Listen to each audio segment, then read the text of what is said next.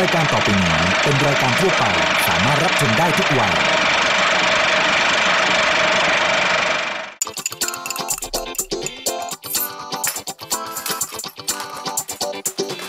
กินได้ กินไม่ได้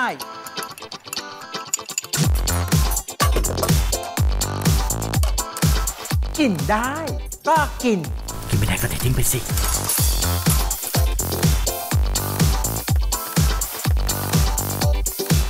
นับสนุนโดยผลิตภัณฑ์ผลไม้ฟรุตเบรดและน้ำเชื่อมแต่งกลิ่นตราเนเจอร์เทส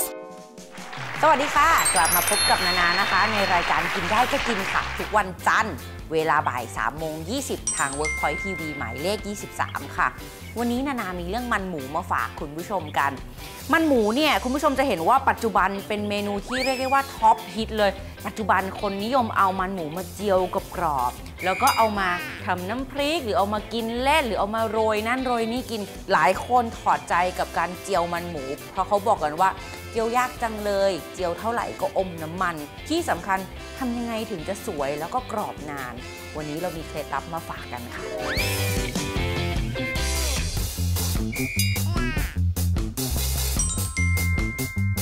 เจ้ามันหมูตามท้องตลาดเนี่ยคุณผู้ชมมันจะแบ่งหลักๆ อยู่ประมาณ 3 แบบที่เห็นได้ชัด นานาพยายามจะหามันหมูเปลวมาให้คุณผู้ชมจริงแต่ตลาดวันนี้ไม่มี ก็เลยมี 2 แบบมาให้คุณผู้ชมดู คุณผู้ชมจะเห็นว่าหน้าตามันค่อนข้างแตกต่างกันเนาะเอาตัวที่หน้าตาไม่ค่อยสวยก่อน อันนี้จะเป็นเศษมันหมู เศษมันหมูเนี่ยเขาจะลาะออกมาจากพวกกระเพาะพวกอะไรที่เป็นเครื่องในหมู หน้าตาจะไม่ค่อยสวย ตัวที่สวยแล้วคนนิยมใช้ในปัจจุบันเนี่ยจะเป็นมันหมูแข็ง ชิ้นของเขาจะสวยหั่นออกมาเป็นท่อนๆ ก้อนๆ เสร็จแล้วเอาไปเจียว มันจะดูน่ารับประทาน แต่เวลาคุณผู้ชมเจียวเนี่ยคุณผู้ชมจะต้อง หั่นชิ้นใหญ่กว่าที่ต้องการนะ เพราะว่าเวลาเจียวเสร็จแล้ว พอน้ำมันเขาออกเนี่ยเขาจะหดลงมาเหลือชิ้นนิดเดียวเอง วันนี้เราเลยเลือกมันหมูแข็งมาให้คุณผู้ชมดูกันนะ เวลาหั่นเขาเนี่ยนะคะ ก็หั่นเป็นชิ้นอย่างที่บอกว่าเลือกหั่นใหญ่กว่าที่ต้องการ เพราะเวลาเจียวออกมาเสร็จแล้วชิ้นเขาจะเล็กลง นานาต้องการเป็นชิ้นๆหน่อยเพราะฉะนั้นเดี๋ยวนานาจะหั่นเขาเป็นเส้นก่อน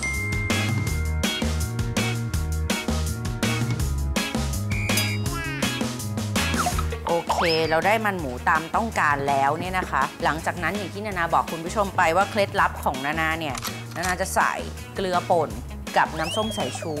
ลงไปขยำเขาจากนั้นพักทิ้งไว้แป๊บหนึ่งค่ะแป๊บหนึ่งจริง ๆ แบบไม่เกิน 5 นาทีอะแล้วเราก็ล้างเขา แล้วหลังจากนั้นมาเจียวกันค่ะ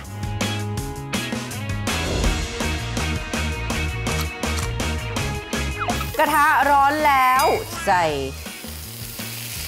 มันหมูของเราลงไป ตามด้วยน้ำไม่ต้องกังวลใส่ลงไปเลย เดี๋ยวรอน้ำระเหยออกมาทุกอย่างจบ ตามด้วยเกลือป่นเสริมไอโอดีน จากนั้นไม่ต้องคนตลอดเวลาคุณผู้ชมค่อยๆคนเป็นระยะระยะสักนาที2นาทีค่อยมาดูเขาทีนึงว่าเออมันเป็นยังไงบ้าง ระหว่างนี้เนี่ยนะคะ ก็เหมือนกับเราต้มมันหมูไปนั่นแหละ อ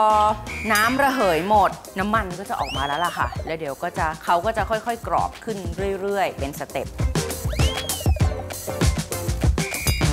คุณผู้ชมจะเห็นว่ามันหดลงไปเยอะมากเลยอะที่สำคัญเนี่ยนะคะเขาเริ่มกรอบแบบกรอบจริงๆละเพราะฉะนั้นตอนนี้อย่าทิ้งจนกระทั่งเหลืองในแบบที่ต้องการนะ เพราะว่าพอเขาออกไปจากเตาแล้วเขาจะสุกต่ออีกหน่อยนึงถ้าเกิดสมมติว่ามันเหลืองแบบที่เราอยากกินน่ะ อลงไปจากเตาปุ๊บเนี่ยคุณผู้ชมมันจะไหม้แล้วมันก็จะขมนะเนี่ย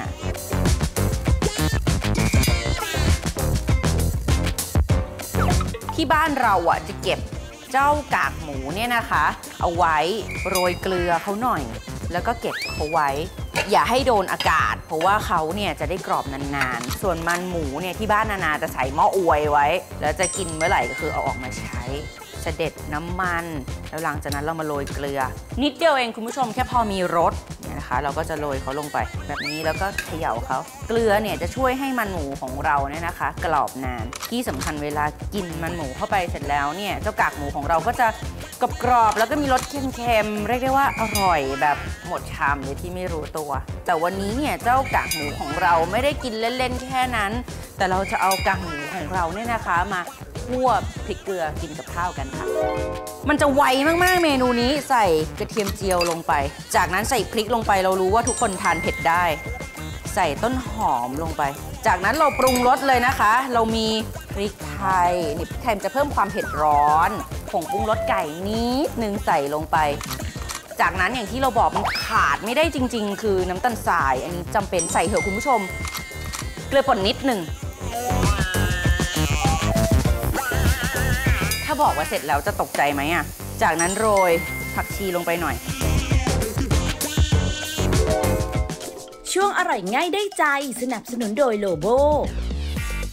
ช่วงอร่อยง่ายได้ใจ วันนี้เรามีเมนูแสนง่ายมาฝากค่ะ กับเมนูกะหรี่พับมัสมั่นไก่ วิธีทำมัสมั่นไก่ ใส่น้ำมันพืชลงในภาชนะนำขึ้นตั้งไฟพอร้อน ใส่น้ำพริกแกงมัสมั่นปลาโลโบ ลงผัดจนมีกลิ่นหอม ตามด้วยเนื้อไก่ ผัดพอสุกค่ะ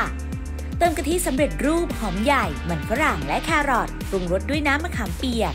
น้ำตาลปี๊บและเกลือป่นเสริมไอโอดีน ใส่แป้งสาลีอเนกประสงค์ผัดจนไส้แห้ง ปิดไฟแล้วตักใส่ภาชนะเตรียมไว้ วิธีทำแป้งชั้นนอก ใส่แป้งสาลีอเนกประสงค์ น้ำตาลทราย เกลือป่นเสริมไอโอดีน น้ำ และเนยขาวลงในอ่างผสม เปิดเครื่อง ตีส่วนผสมด้วยความเร็วต่ำจนกระทั่งส่วนผสมเนียนแล้วปิดเครื่องนำแป้งที่ได้มาชั่งน้ำหนักก้อนละ 30 กรัมคลึงเป็นก้อนกลมพักไว้ วิธีทำแป้งชั้นใน ใส่แป้งสาลีอเนกประสงค์และเนยขาวลงในอ่างผสม เปิดเครื่องแล้วตีส่วนผสมด้วยความเร็วต่ำจนกระทั่งส่วนผสมเข้ากันนำแป้งที่ได้มาชั่งน้ำหนักก้อนละ 20 กรัม คลึงเป็นก้อนกลมพักไว้แผ่แป้งชั้นนอกเป็นแผ่นวงกลม วางแป้งชั้นในหุ้มแป้งให้มิด แล้วรีดแป้งเป็นทรงยาว ม้วนเป็นท่อนกลม รีดแป้งเป็นทรงยาวอีกครั้ง ม้วนแป้งเป็นทรงกลม ตัดเป็นสองส่วน จับแป้งบริเวณรอยตัดหงายขึ้น รีดแป้งอีกครั้งเป็นทรงวงรี ตักไส้มัสมั่นไก่ที่ผัดไว้ลงตรงกลาง พับครึ่งแล้วจับจีบให้สวยงาม นำกะหรี่พับลงทอดในน้ำมันพืชที่อุ่นไว้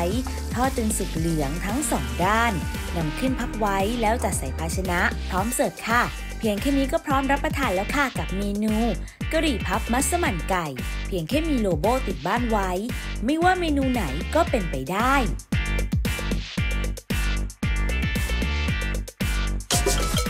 กินได้ ก็กิน กินไม่ได้ก็เททิ้งไปสิ